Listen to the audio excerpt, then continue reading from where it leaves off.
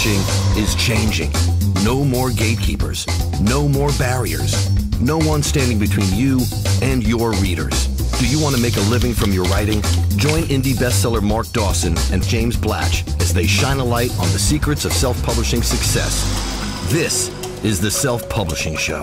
There's never been a better time to be a writer. Hello and welcome. It's the Self Publishing Show with me, James Blatch.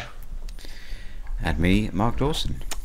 I was going to say where we've been, but I don't think we can say where we've been. It's been it's been secret. We've had a series Well, of secret yeah, meetings. We, we can say we've had a series of secret meetings. Um, and I've kind of hinted in a Facebook post that we might have some fairly big news to announce at 20 books. Um, but we can't say much more than that. There they were is, intense um, meetings and they were in London. They were, yes, and um, with an interesting wrinkle. One of our colleagues, who was in the in a small, badly ventilated room for two of the three days, sitting next to me on the second day, didn't come on the third day because the cough that she had was COVID. Um, so that's great, especially because I've uh, I've got to go. Well, I'm hoping going to Tenerife for a holiday, which I really badly need. Um, next Friday, so a week today as we record I this. think you'll So- be all right. Uh, well, we'll see, won't we? Let's, let's see. Um, I woke up this Woke up morning. this morning. Duh, duh, duh, duh, duh. and um, felt felt a little bit grotty, um, but that might just be because I've been commuting for the first time in Yeah. ten years, going back and forth from London, and had a few, couple of beers last night, didn't we? Yeah. And um, so I don't know. I feel okay. Bit. I've got a bit of a frog in my throat. And I got so- back to St Pancras and my train was cancelled. So I had to wait an Oh, hour no, dear. for the next one, which is not God, fun.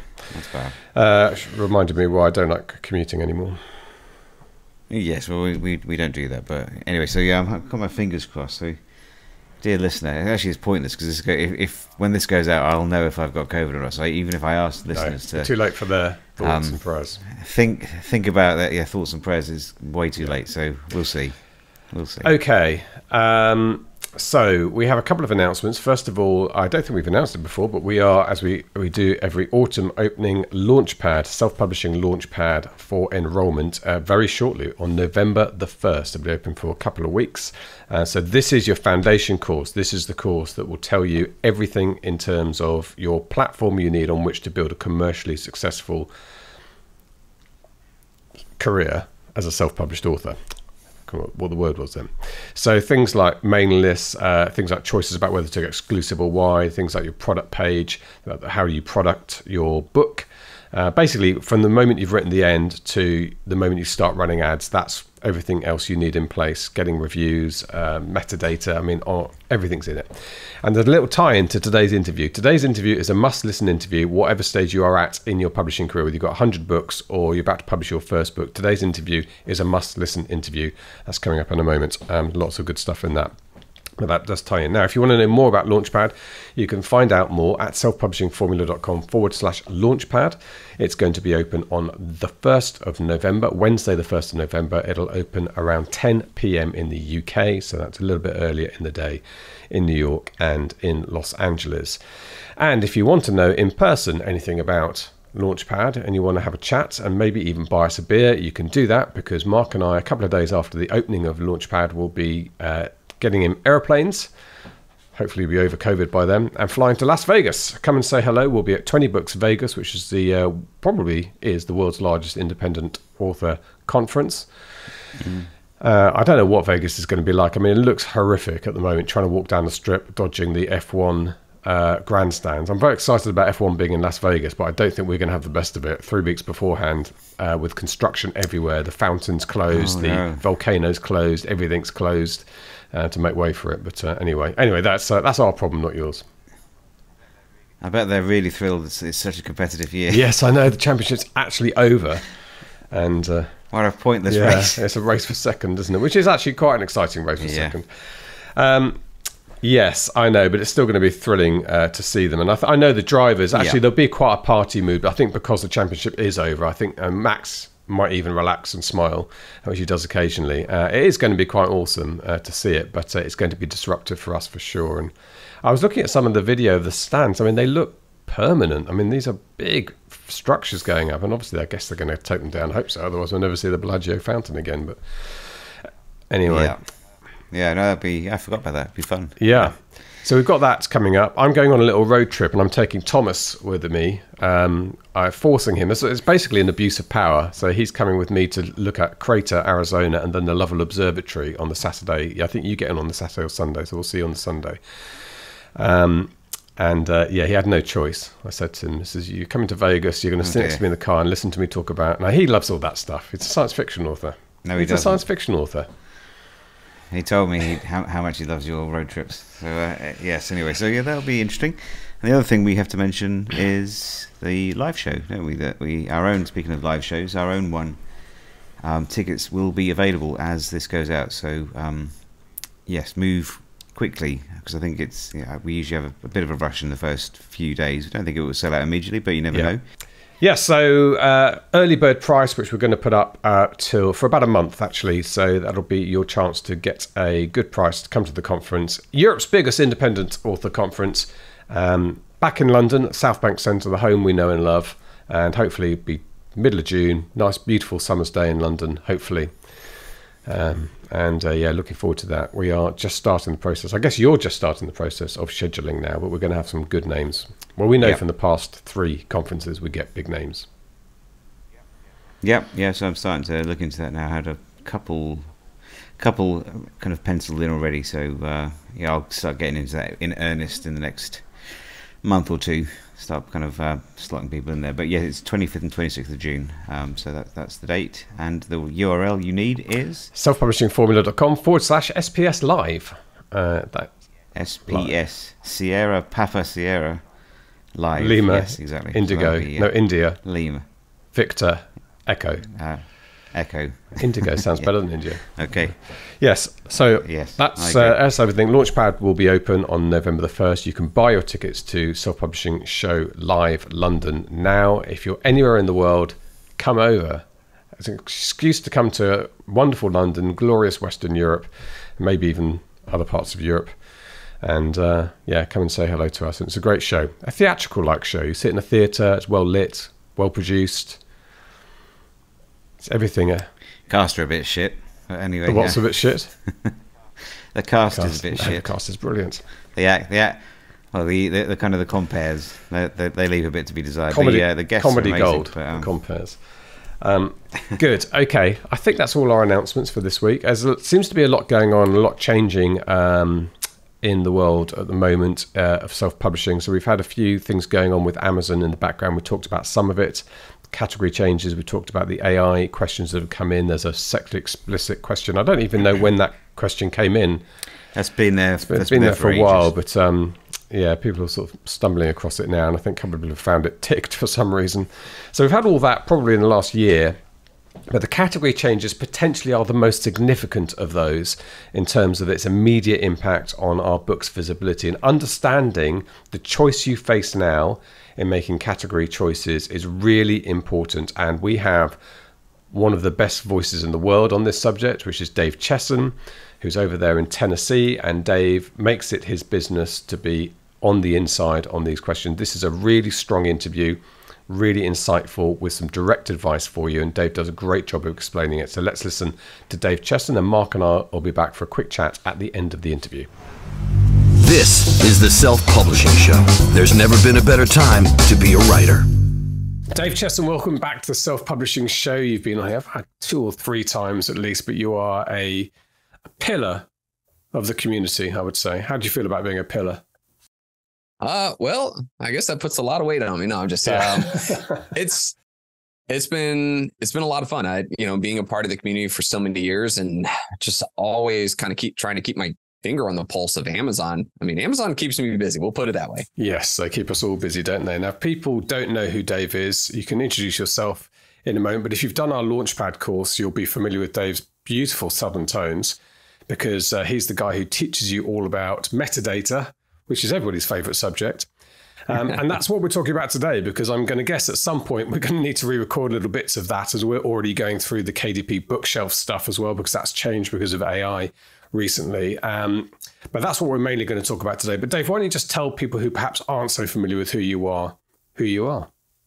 Yeah. Well, uh, I'm Dave Chesson, and uh, I'm the creator and the guy behind KindlePreneur.com. That's like Kindle Entrepreneur. I'm also the creator of Publisher Rocket and Atticus. Um, for me, I grew up with, uh, you know, kind of uh, having problems with um, dyslexia. And I always struggled with writing and grammar and things like that. But it didn't mean that the dream you know to to actually be an author would disappear. And so for for me i started looking at the markets and i started using kind of that understanding to help me with my writing. And that's really where i took off. And so i started chronicling that inside of kindlepreneur and have built tools from there as well. Yeah. And uh, those tools for many of us are go-to tools when you're setting your book up working out where to place it the categories the sort of information you can find out using publisher rocket in particular can be the difference between your book being profitable or not and and if it even shows up on the website to an extent that's been kind of the biggest thing. Um you know it's really my whole journey started with me just asking the simple question of like why does amazon choose to show this book first and this book second what is it that has happened that has created this kind of system? Why is it that I can't find this book? I'm searching for the title and yet it's not showing up. Whereas these other books are showing up, they don't even have that in the title. And so it just really sent my kind of analytical brain down this path. And um, it's always been just kind of a, a wonderful journey. Yeah. Now, I do want to talk about Atticus and one or two other things that you do, but we are mainly going to talk about categories uh, and that metadata, which has changed. So, just to set the the stable. So not everyone's published a book yet. Who listens to the show. Some people have published a hundred of them. As most people, most of us are in between. So we know that up until recently, when you uploaded your book to KDP Amazon, you got to choose two categories. There was, if you knew people like you, you uh, were told by you that actually you could access 10 categories in total, but that was done via an email to customer support effectively and in conjunction with using again your tools to work out which of those categories, what they're called, and where they sit. And of course, they're different for print and different for UK, USA, and so on. However, that has all just changed. Do you want to set out what's happened?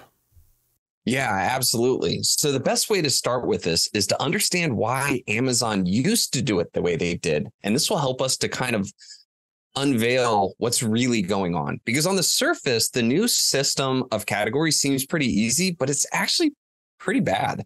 Um, there's a lot of of what I call landmines that authors need to skirt around. And it kind of sucks that Amazon hasn't made this information available. So let's take a step back and look at what they used to do and why they did that.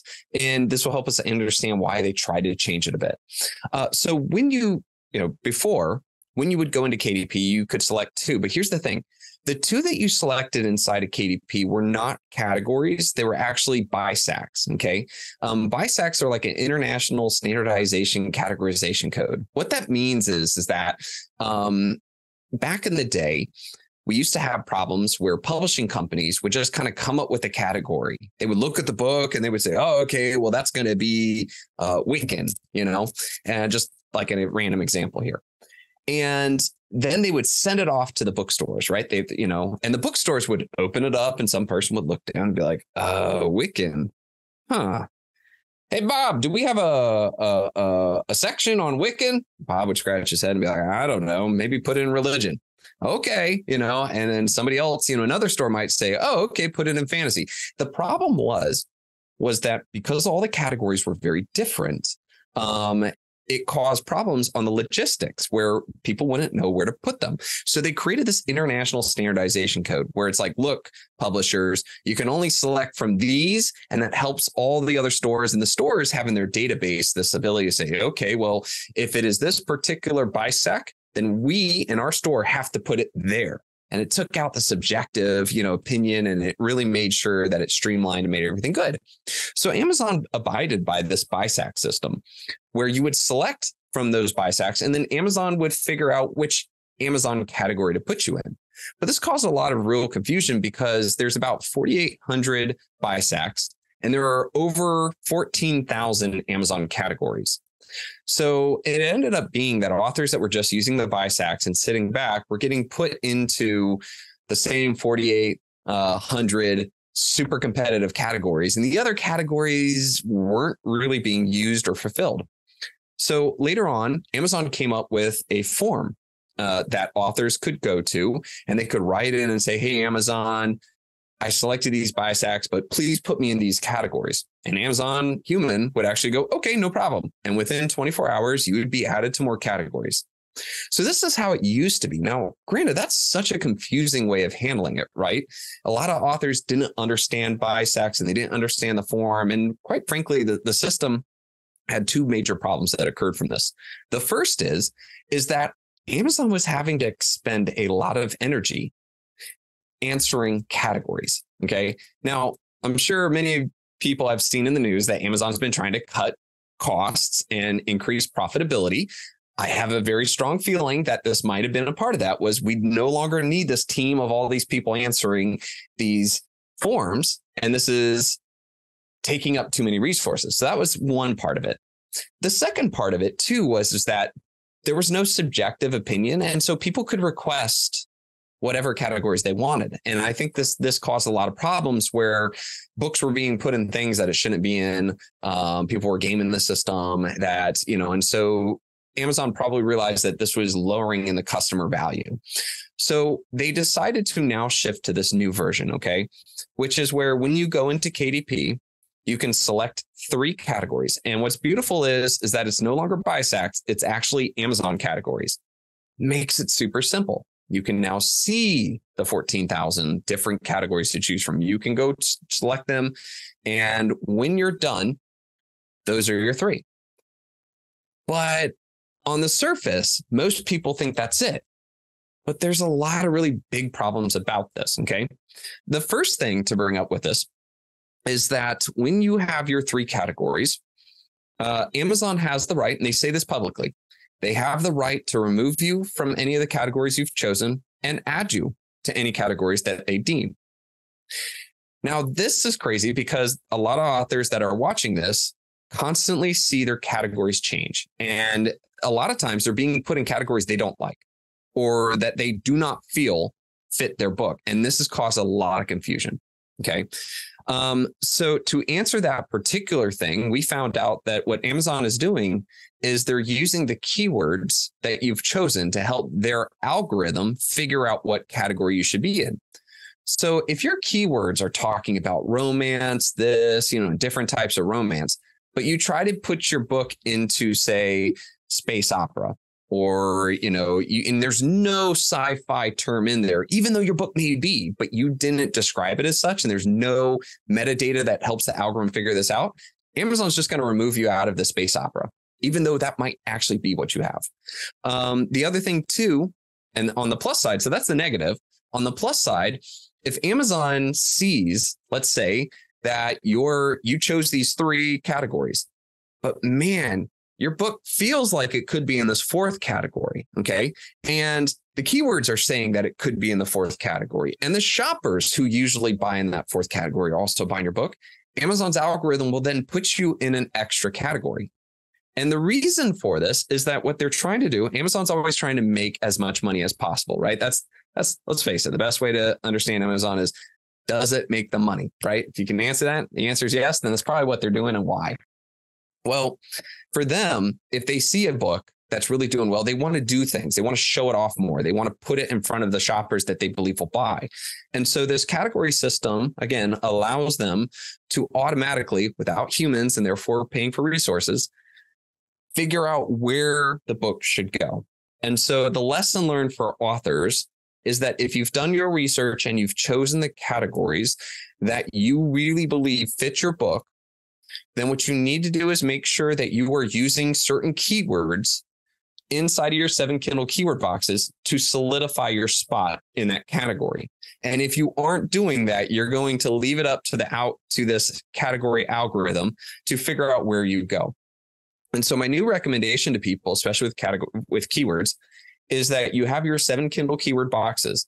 And I recommend at least using two of those boxes specifically for category specific keywords so as to ensure Amazon doesn't mess with your categories. Okay, so so one takeaway from that is that the keywords are not a place to be clever thinking if you've got a romance storyline in your military thriller and I think well I'll put some romance keywords in there in the past, maybe that's going to help direct the odd person to your book and alert them to the fact that there's you know something in it for people who like that aspect. But now that could trip you up. It could, yeah. Um, you know, fiction authors who are writing in Arthurian time, which, by the way, the Arthurian is a category, and that is a time period. Um, if they haven't used any words that are very specific at the time period, they have a weaker chance of staying in Arthurian. But if they have like keywords like Arthurian, you know, and and there's a whole list. I don't have the list in front of me, but if you're using those things, then Amazon's like, okay, clearly this book, like algorithmically speaking, this book should be in this category. And now you won't find yourself no longer in the category you selected. Does Amazon take account of the text of the book, the manuscript itself? So, my understanding is on that, and this is again from past information, um, is that when, so the search engine, they used to have its own website, okay? Because the search engine's algorithm is called A9, and it used to actually have a website called A9.com. Uh, funny thing is, a couple years ago, um, the people behind A9 really ticked off Amazon, and Amazon shut them down and moved them under one of their VPs. Awesome news article about that. It was crazy. But in that battle between A9 and Amazon, a lot of really good nuggets dropped from it. Okay. Um, I think it was the Wall Street Journal, or maybe it was the uh, New York Times or so, busted it open. But basically A9 started complaining that Amazon was making them do things that they didn't think was right. And so they, some of their people let slip public information. Um, and then next thing you know, they got shut down. Hmm. But on the context of this, when that website existed, they used to say on their site that they would crawl the text of books to help better understand some things. So back then, there was um, they, they were at least publicly claiming to do so. I'm of the opinion now that they don't do it. And again, I'm going to stress to all the listeners that this is an opinion. I don't have facts on this. Okay. But there's two things that make me feel as though um, they don't do it uh, now. The first is is that it would probably be through the look inside component. So they're probably going to scan if if just the programmatic component of it. They're probably going to crawl the look inside aspect of it. Well, as, as many of us authors know, the, the look inside thing is is is pretty trash. Um, they have a lot of problems uh, in their programming. There's a lot of issues on what actually shows up on the look inside, and so there's a lot of issues that can can lay in there. The second thing is is that that just feels like a whole bunch of unnecessary uh, load of resources to have to interpret the beginning of the book and you know basically analyze that and i think that it's a lot easier and less resource intensive by just looking at the title, the subtitle, the book description, the keywords, the categories. And that's more than enough for them to kind of paint the picture than having to OCR or, you know, go through and crawl the words and kind of figure out, you know, those kind of things, especially when their system's kind of junky. So, yeah. Although we do know that they read the book at the beginning when you upload it because they'll pick up spelling errors. And obviously, thankfully, never happened to me. I'm sure it's never happened to you, but I, I'm told it can reject books at that stage as well on quality basis. So there must be some level of machine learning AI that scans the text at the beginning, but maybe that's probably knowing Amazon a very different department from the departments later involved in the category placing. But uh, with AI and machine learning, this stuff becoming more powerful and quicker, wouldn't surprise me in the future that they do start reading text and and reviews we have access to their their system on how they they check for the spelling. Uh, it's great. They've actually been working with us on Atticus uh, to kind of one of the cool parts for Atticus is is that they're working to give us the ability for books um, using Atticus to have Amazon if they want to check it beforehand so that they'll tell you before you publish it. Here's all the spelling or the things we would flag, and then you can tell it nope, I intentionally misspelled it because my person, my character yeah. has a stutter, or nope, disregard that because it's a part of the story. And then when you upload it, they won't flag it anymore. Uh, and so we're actually inside of that coding, and that coding is not, um, unless they're doing something crazy beyond it, but you know, with an API key, looking at their coding, they're specifically just looking for kind of spelling errors um, and certain flags that they have but there's nothing that shows any again machine learning from from that respect and if they're willing to hand it over to something that's not sending them the data by the sure. way which is great in my mind i don't think that they're using it from a interpretation component of it now now with Amazon getting closer and closer to using AI every day, yeah, I'm sure that might change. But uh, you're looking. You've, you've always got to look on the inside, uh, Dave, which is brilliant. Um, now, so okay, so that's a really good takeaway in terms of the keywords, and I'm immediately going to go and look at my keywords after this conversation to make sure I haven't been too cute there and been uh, been reinforcing the genre. Um, I do love the whole reinforcing genre. It's like a mantra of mine anyway. When you do your blurb, do your cover, every aspect of your Facebook ads and copy, reinforcing genre is the number one task in all of those bits. So it makes sense that your keywords would do that as well. Now, there's something else that I've picked up that you've been talking about, which is that some of the categories we're being offered are what you've described as zombie categories. So not all is, is what it seems, even when we're selecting Amazon's own categories, right? Yeah. Uh, so this was the biggest shocker of the entire Amazon category system. And I actually call them ghost categories. Oh, and, and, the Sorry. reason for it Well, the reason for it is they're kind of like undead category. Uh, well, I guess you could call them zombies too, right? Um, so here's the here's the worst part of this entire system. 27% of all of the categories that Amazon presents to authors are what I'm calling a ghost category. These categories are categories where no matter what you do, if you select it, you cannot rank in that category, which means you cannot get a bestseller tag. Okay. You can't even state that you're a bestseller, even if you're selling better than any other book in that ghost category.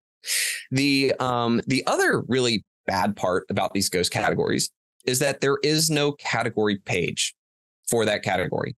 Like that means that if I'm a shopper and I'm looking for categories, you know, to choose from or buy, or maybe there's a category I love, if I try to find it on the Amazon store, it doesn't exist. And so if you select out of your three categories, a ghost category, that is one of those categories where you cannot hit bestseller and shoppers can't find it. Now, it there's a lot of things to unpack from this, but but my biggest biggest overarching statement is try to avoid them. Um, there's little to no cases where it actually benefits you, and so I think it's very important for authors to understand. Whoa, if that's a, if that's a ghost category, the only reason why you should check select that is because you have no other option. That ghost category really fits your book. Then okay, all right. Um, so to best understand the weirdness of this, I'm going to start by explaining some terms to categories to help us so we can talk about it uh, better. So there's the first term that I'm going to use in this discussion, which is called category chain. Okay. And a category chain is kind of like the, the path to the category. So it's like books, science fiction and fantasy, fantasy, dragon, you know, that entire term is what I call a category chain. Okay. The next term that I'm going to use is called uh, either broad or main category. And that's the first one. So science fiction and fantasy is what we call the broad or the main category. All right. The other parts down that chain we call subcategories. But the final word, which in this case, I believe I use dragon. Okay. The final part, that's what we call a placement category. Okay. And so when we talk about the placement category, that is really important. That's the one where in your when you're in KDP and you select that little box and you select that category, that is your placement category. Okay. So with all of that information, this is why it's really important to understand ghost categories. The ghost category is the placement category. So all of those other subcategories that I listed, again, I'll say it again: books, uh, science fiction and fantasy, fantasy, and then dragon. The dragon is the placement. And I'm I don't know if this one particularly is a ghost, but I'm just using as an example. Um, the subcategory of science fiction, or I'm sorry, fantasy, that's still a category. You're still in that chain. Okay. So if you select dragon, let's say dragon is a ghost, you cannot be a number one bestseller for dragon. Okay. You no matter what you do, no matter how many sales you make, because there is no ranking system for it. There is no page to show who ranks number one, two, or three. It doesn't matter. However, though, you're still in the fantasy subcategory. And so that means that the only way you can rank number one from that is if you're number one in fantasy. So you can go up the chain to the next subcategory, okay, if it has placement. And so this is really important for authors to understand because by selecting, say, dragon in this case, you are basically just selecting fantasy. That's kind of a huge waste. Um, the other really bad problem is that sometimes the subcategory above it has like five ghost categories under it. And if you select the three ghost categories inside of it, you just really all you did was just select fantasy and that's it. Yeah. So to kind of recap on that, these ghost categories, and again, it's a one in four chance that the category you select is a ghost.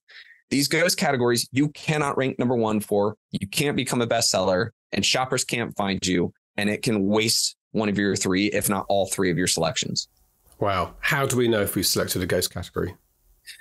So really there's there's two ways, okay? Um, the first way is that you need to you need to basically investigate and see if there is a category page on Amazon and if there isn't, then that's a very strong indication that it is a ghost category, okay?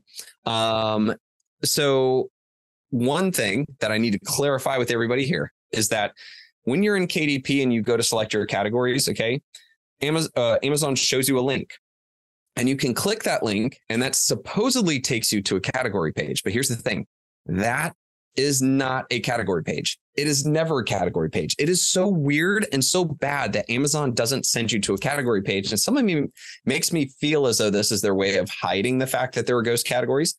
What they do is they send you to a browser node.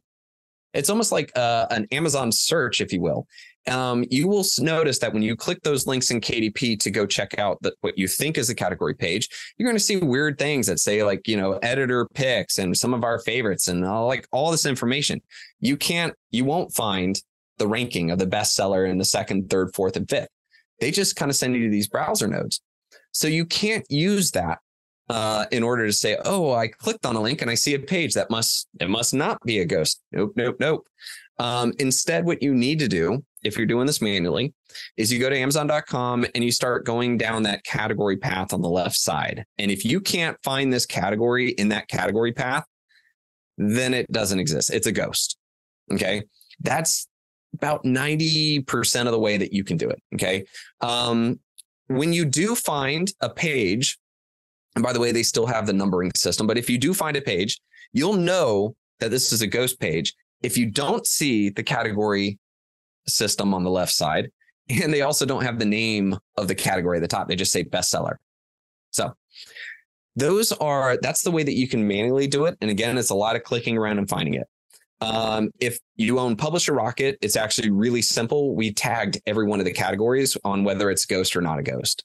Uh, we also give warnings and information about that that goes. So if you hover over it and click, you can see. Um, and so, so again, it's like if you're using the category feature on Rocket, you find a couple categories and you see that tag that says ghost, beware.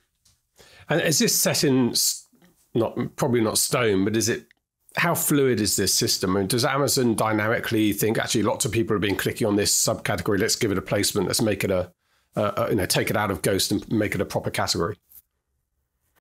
Uh, we haven't seen many changes from Ghost to Live and Live to Ghost. Um, I think a lot of this was just the system that they put in place. Um, and a lot of people have asked me too, like, well, why would they do this? And honestly, it's kind of a head scratcher. Um, some of me believes it's just Amazon being a little bit lazy. So there are a lot of times where um, maybe authors have requested certain categories be created or there's a lot of changes in the whims of people, you know, terms that were, you know, nobody knew about 10 years ago are now kind of somewhat mainstream. And I think sometimes Amazon says, fine, we'll create this category. Okay, we'll just add it to a little little list, you know, in KDP but we don't have to restructure a website. We don't have to add to that link system. We don't have to create a brand new category page. And so they just kind of throw it in there. Um, my team and I are constantly crawling and monitoring this and checking and verifying. So if if we start to see them make changes, we're going to publish that and make sure people understand. But so far, we haven't seen them done eh, do anything with that. And just to show kind of the problematic side of this system, did you know that there's seven categories right now that are called rename? Oh, really? Like no joke. That does like, sound like Amazon being lazy. Right. Like it literally, there's, there's one that, and the placement category name is turtles. And then in parentheses next to turtles, it says in all caps, rename. Right.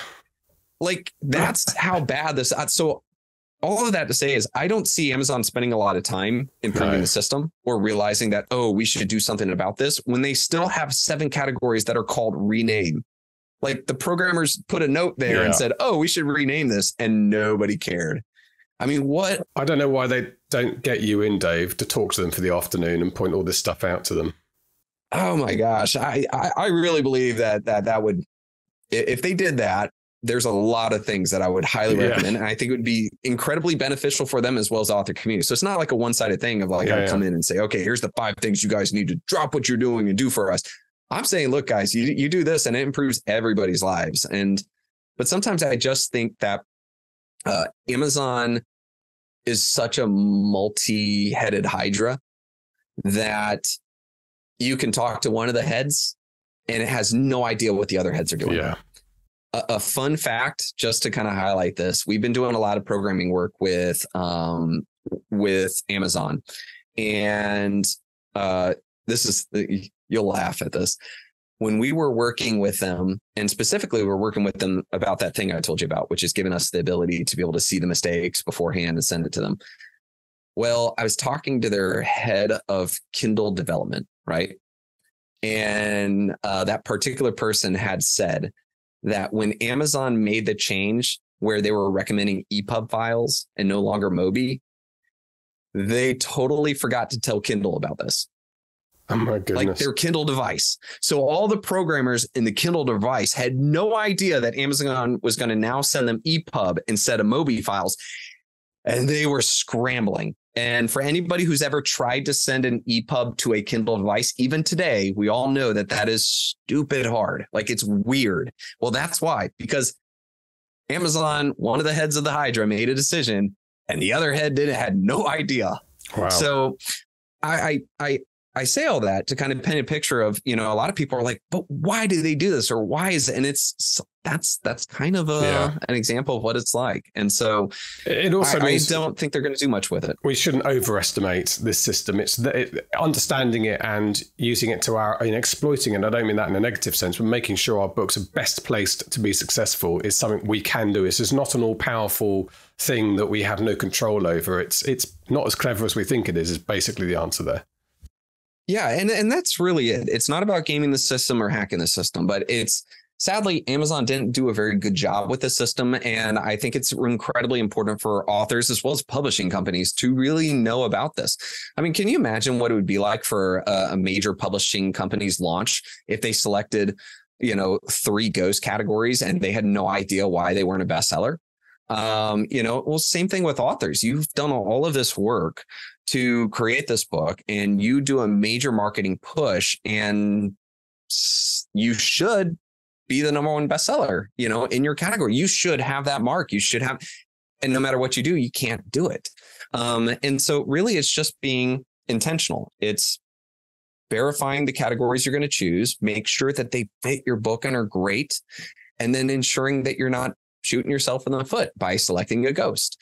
The other thing too is, is that once you've done all that research and you've chosen these categories, just take a couple of lines on your seven Kindle keywords and solidify your placement. Make sure that you're not at the whims of the algorithm who can choose to put you in orphan, you know, or th- this thing that, that you didn't, you know, select or want to be in. And by the way, seriously, if you haven't, you should try checking your categories. Um, I was going to ask you how we do. What's the best way of doing that?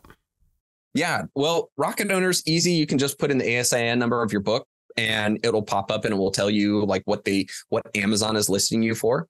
Um, another one, there's a free tool out there called uh, I think it's like Nerdy Book Girl category tool. If you just Google that, um, you can put in your ASIN in there as well, and it will tell you exactly what Amazon is reporting your categories to be.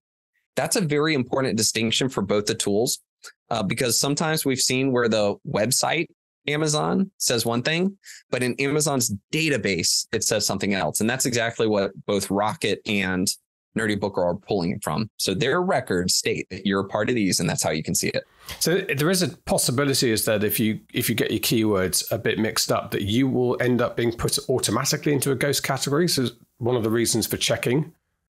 Yes, absolutely. Um, that's one of that's one of the hard things for a lot of authors is is that um, because also too Amazon took down that form basically for most people, you can't use the form. You can't communicate with them and tell them, guys, I selected these three and you got me in this weird thing. Like, that's not my book. Please take me out. Like, nope, you have no comms. So if you find yourself in that situation, okay, where you have selected these three and you go to look on Amazon, you find yourself in completely different ones. The best way is to go back in your to your KDP dashboard and update your categories and update the keywords to reflect it. And then that way they'll reanalyze. And we've seen that generally speaking, give it three to four days for them to take the right move. Um, but that's been a really good tactic for authors. They're, they're the levers we have. Categories. Those uh, those ones. Okay. Um, I've got one other question for you, David. I don't know if we have an answer for this yet, but people who haven't played around with their categories since these changes came in may well still be in the 10 categories that they originally emailed and asked for. Should they stay put or should they reselect three? Is there an advantage to moving forward this this process? That is a phenomenal question, James. I um and honestly, the answer is going to be it depends. Um so there's a pro and a con to both of those arguments. For my books, I'm not touching them. okay, um, that's interesting. Because, well, because my my like, and I think the the go no go question for an author is is how satisfied are you with say the traffic and the sales of your book? Okay, uh, so if your sales and traffic, you know, your keywords, your category, they're all working, right? No need to rock that boat. Okay. Um, and you could jeopardize or hurt your traffic, hurt your rankings, hurt your, um, you know, the amount of times Amazon shows you by changing them up. Um, and so therefore, like I said, if your book is doing well and you relook it, I would refrain from touching it for as long as you can. However, though, if your book is not doing well, um, you know, the sales aren't happening, or you, you feel like, you know, there's problems with it, or and generally speaking, diagnosis is you don't feel like Amazon's utilizing your book the way it should. Then I say go in there and clean up your keywords and use the system because the pro to this is Amazon's system. I believe, and again, I'm gonna, I'm going to stress that word I believe because I don't have data to back this statement. Uh, I believe Amazon's new category system is more in line with their out with their algorithm, their metadata algorithm. And so they're using that information to better understand your book. So going in and aligning your book with the three categories and making sure that you've got keywords that stress those three categories. I feel like that's like using an updated version of a software than using the legacy version. Because right now my books are running on the legacy version and I'm I'm okay with it because I don't need anything more. But for those of you that want to give it a little spin and maybe spruce it up or so, absolutely you know update that and you know get in line with their new system. Is that a fair fair way to yeah, answer that? I think it is. And uh, the only thing i can't remember is if you have to make some other changes to your book and you want to update the blurb are you forced into doing the category change at that point or can you leave it as is? I can't remember that. Uh so from what I've seen, and again, I, I don't know if they're going to change this, but I've made a couple of changes to my books and they haven't forced me to, but I have heard of other people saying. So either A, it's depends on what you're trying to change, or B, it is um, you know, a time period Being or a location. So yeah. I can't answer that specifically. Yeah, I know you do have to ask answer the AI question now, even if you've made one. Oh yeah, moved a full stop in your blurb. But um, the categories, I was, I had a feeling you're right. Uh, at the moment, it's not forcing you to to reselect. Okay, all right. Well, look, that's that that section of the interview is brilliant. I've got take. I've been making notes for things that I'm going to do to my books and the books we've got in Fuse Books to um, uh, to make sure that we are optimized in that sense. And your knowledge is is really. Um, second to none on that, Dave. So we appreciate it. Thank you very much. And before oh, I no let, problem. before I let you go, I want just to ask you about Atticus, which is um, well, you better describe what Atticus is, and, um, and I'm quite excited about this collaborative rollout that's going to happen. Something we talked about hmm, probably two years ago to start off with. Yeah, yeah, absolutely. So you know, it's funny as as an author, I've always um, I've used so many sets of software. You know, I, I use software for plotting, I use software for taking notes, I use software for then actually writing the book, then I use software to work with my editor, and then I use software for formatting. And so, uh, as an author, I've always just I wish there was one. You know, like I didn't have to learn seven different softwares and pay for seven different softwares and and work within it. And so I've always wanted to have what I call is like, you know, the the the one software to actually write your book. Um, and so a while ago, we started this company called Atticus, atticus.io. And instead of trying to, to hit them all at once, we started with formatting. Um, you know, there's there's another great software out there called Vellum, but the problem with Vellum was it only works on Mac. And we also felt like there's a lot of features that could be added and some areas that could be improved on in just the formatting component. Um, but also, too, is that we added on the writing component. So authors can write inside of, of Atticus, and we've been adding more and more to make it so. Um, and then they can format in it, which is nice. But the biggest thing that we've been working on uh, is what's collaboration. Um, now imagine that you could write your book and you can collaborate with another writer you can then bring in an editor uh, and work within that same software and then you know you can bring your arc readers and you can look at their comments and you can look at um, you know you can have your code writer look at their comments and you guys can discuss it together. And and so we've been designing this and i can't say the exact date when the collaboration is coming out um, but we're really on the cusp of something great. Um, i'm really excited about this because i think that will really change the way not just that writers work but also publishing companies. Um, if you're a small to medium publisher, imagine that you can open up a dashboard and see all of your projects, where they're at, how authors are doing. You can tag in your editor to start editing this book that is now ready and bring in your arc readers. And then, you know, you can start planning your marketing because of what you see. And so I'm, I'm just really excited about that. But I think by the time, um, and maybe my, my co-founder will be bummed about this, but I'm going to announce it anyways by the time this comes out, uh, we should be either really close or should have uh, a whole bunch of really awesome new features in in Atticus to include all of the Google fonts. So instead right. of choosing like six or seven fonts and formatting, you can actually access just about any font you want in that respect. Um, and we've got a couple of other things coming out soon too. Wow. So okay. It's just been a wonderful project. Yeah. Yeah, sounds good. And we'll keep an eye on that evolution. So atticus.io is the place to go if people want to learn a bit more about that. Uh, how much does it cost, Dave, Atticus? So it's a one time cost of $147.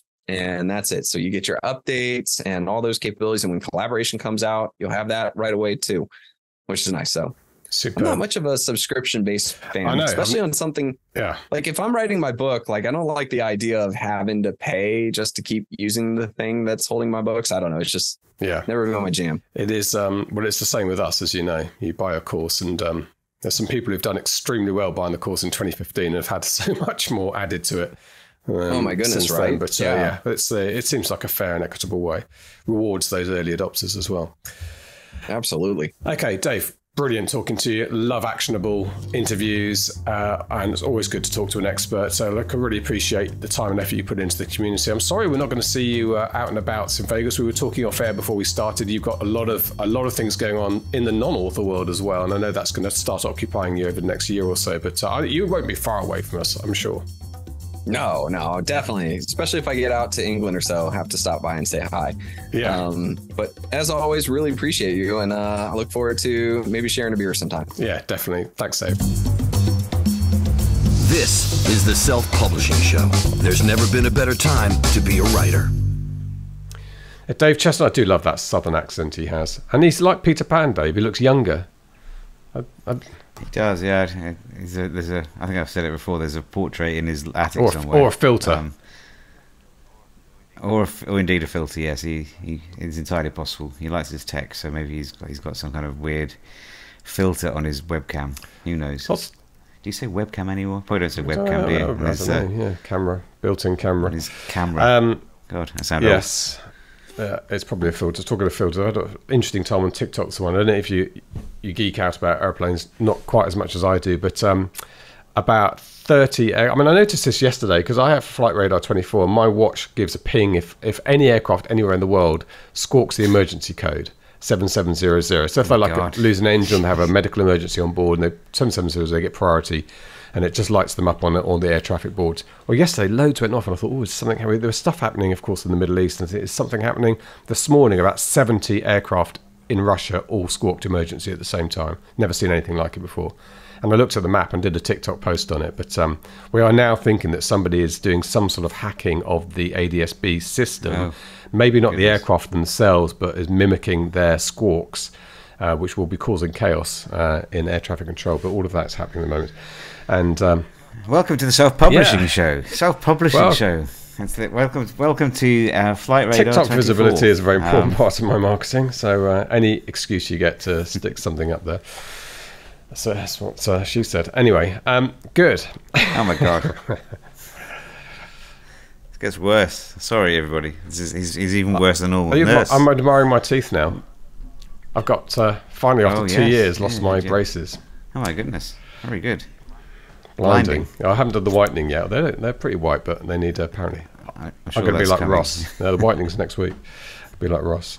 Uh, it's only since I started doing this podcast that I can became worried about. Not worried, but it just noticed that my teeth were crooked, and I think it's not a bad thing to get sorted Mm. I out. think the word you're looking for is vain. Varane. That's the word you're looking for. Vain. I'm not. Oh, it's a new word. You're so vain. You probably think this podcast is about you. Well, apparently it's not because you It's did it by yourself last week, and you got loads It's of positive feedback. You meanies, audience. Why I did know. you say that? Why didn't you say about me? Anyway, um, good. go.